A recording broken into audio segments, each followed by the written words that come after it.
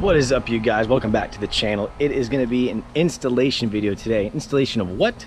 It's going to be installation of a SureShade. Now what is a SureShade?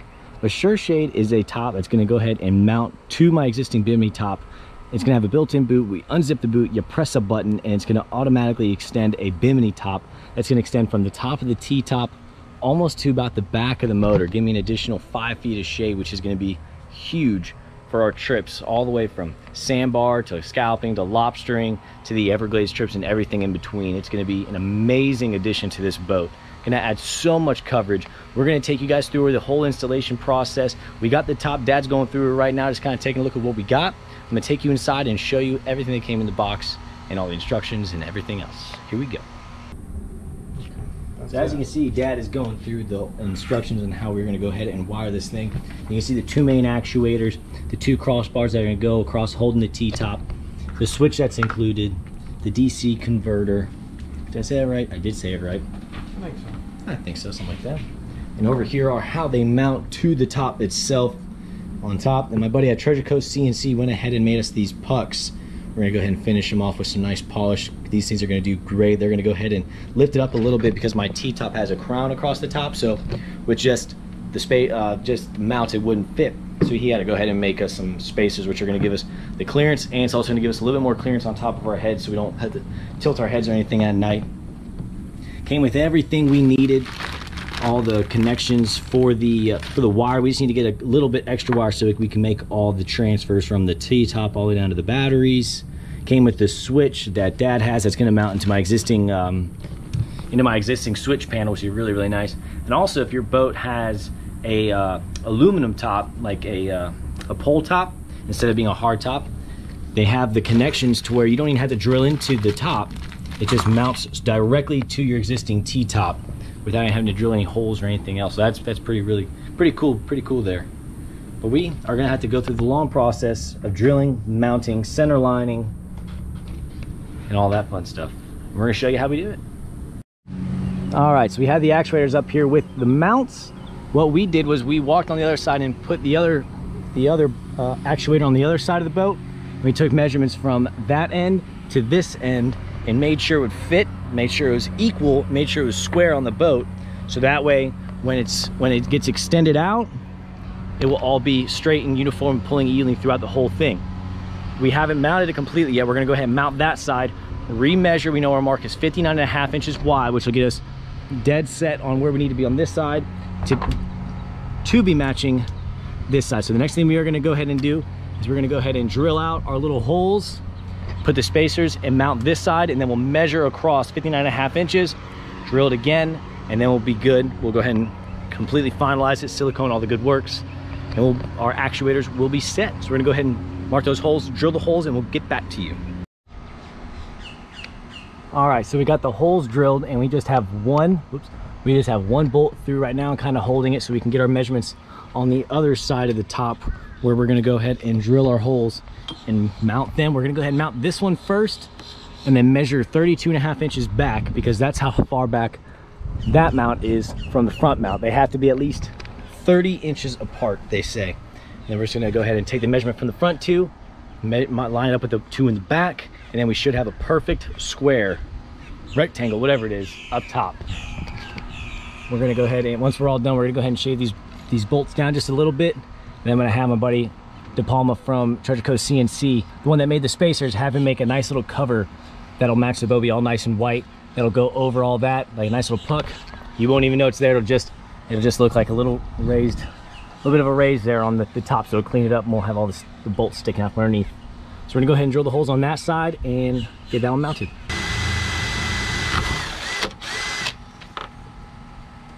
Still good. All right, that one's up. Now what we're gonna do is we're gonna go ahead and measure from that end to the same exact end over there and also on the back, the farthest points. Make sure they both match up.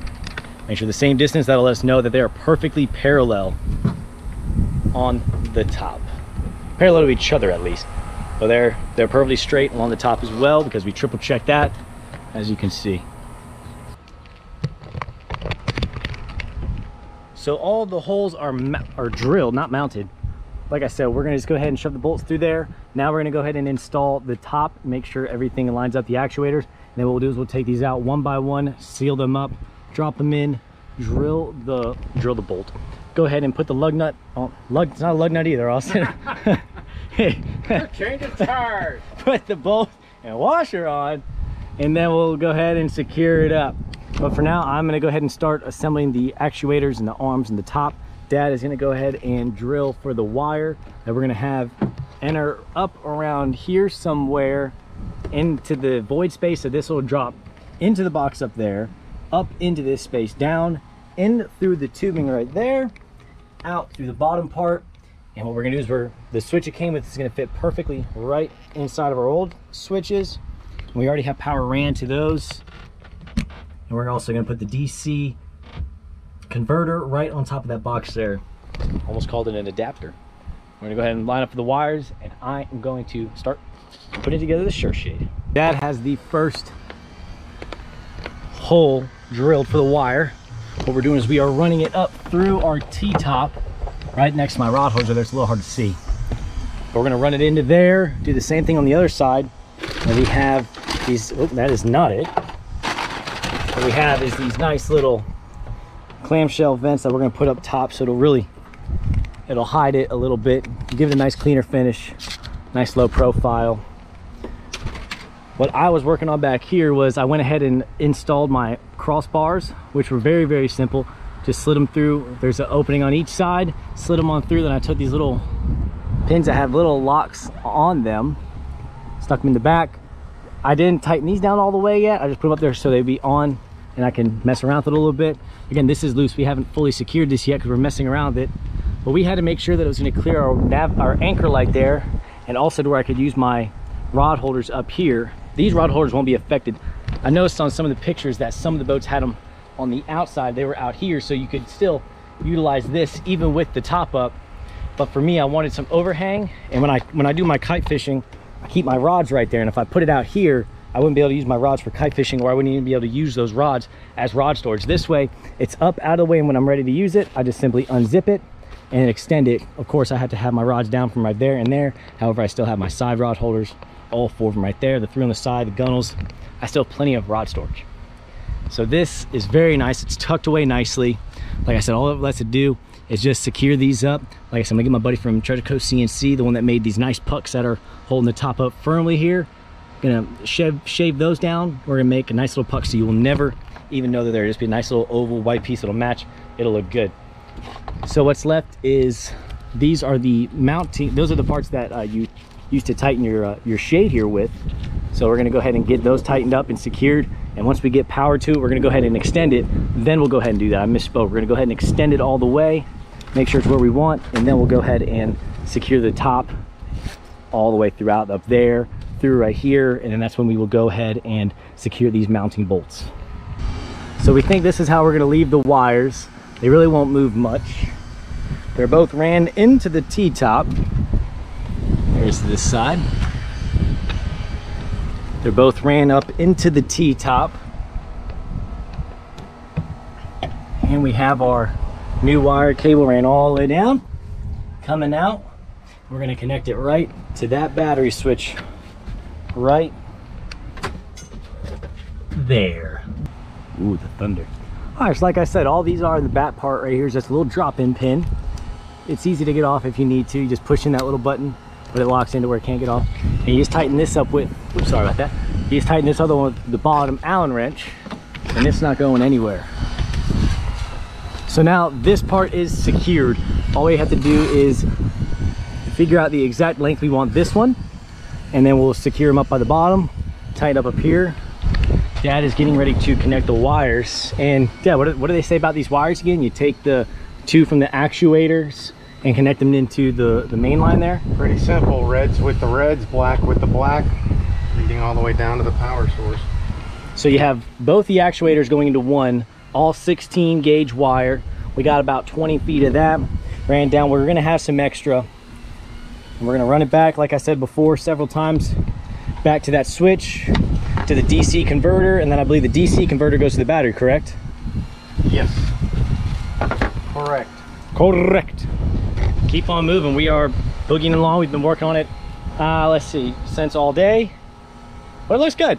It's very, very good. Really excited to see how much additional coverage is and just to see how tall it's gonna be compared to us, how much headroom we'll have. And overall, it's, it's gonna fit, it fits perfectly. Very, very pleased with this. So that's that little clamshell. It's not completely secured up top yet. We gotta put some sealant on it, but you can see how much cleaner it makes it look rather than just a wire and some silicone. So that's what it looks like after. And I'll give you the before. Little attention to details. So yeah, you can see it looks a little bit better. Some storms out there. We're gonna we're trying to get this done before, know, all sealed up. Looks like hopefully all it stays away. All right, so we we go in ahead and connected the two to one wires. This we also uh, applied some conduit, heat shrink them, and then we just went ahead and wrapped them in electrical tape.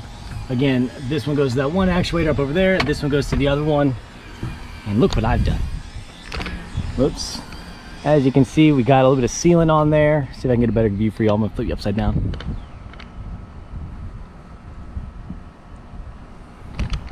Put some clear, or excuse me, white silicone sealant around it, just so no water gets up into my T-top. You know, it just makes it look a lot nicer, the clamshells. All right, so what we got here is we have the wire coming from the T-top, comes right down into there, the white wire. Then it goes ahead and connects to our switch.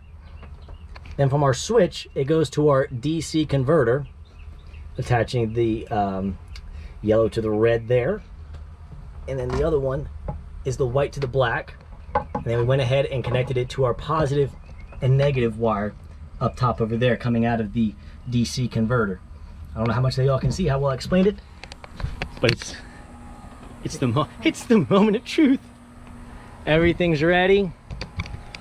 Top's ready to go.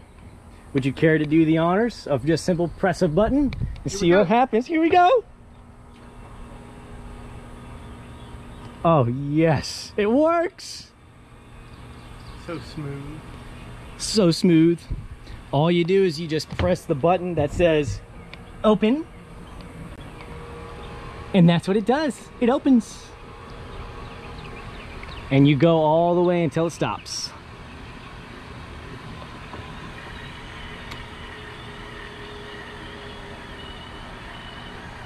Keep going. And that's it. And you just go ahead and secure her onto the the little plastic clips here that sit right up there. We still have to secure, we don't have it secured right there. We just wanna make sure it all worked before we did, and it does. And look at this, just enough clearance. You can see the little bit of space we have here, but we want it up that high so we get this little extra clearance underneath. Woohoo, celebrate. Nice platinum color to match the bottom of the boat. Let's go ahead and hop out, give you guys an outside view. The shade comes all, let's go back to the other side. See how much extra shade we get off of this boat. So if I'm standing off to the side, we have all the way to the back of the motor now. Obviously, right, not right now, when the sun is up, all the way to the back of the motor of shade. And if you look, it is almost as wide as the T-top is. 57 inches of shade. It also goes back 57 inches. So it really does add a lot, a lot of extra shade on this thing. It is a game changer. So as you saw is just how we retracted it in and put the boot, put the boot over. It was a simple up and over. Put our silicone in on these guys, top and bottom. And, whoop, I don't know if you can see that, but we secured it so it's not going back and forth. And she is pretty much done on the boat. Everything's installed. Super, actually, super, super simple process. Awesome. Huge thanks to SureShade. Huge thanks to Treasure Coast CNC Works for getting that done for me. Really, really appreciate it. I'll put both their stuff in the description box below. I'm going to pool at top. If you like the video, hit the like button and the subscribe subscribe button. Ooh, man, it's been it's been a long day. Me, you, the boat, the SureShade, and dad. We'll see you next time.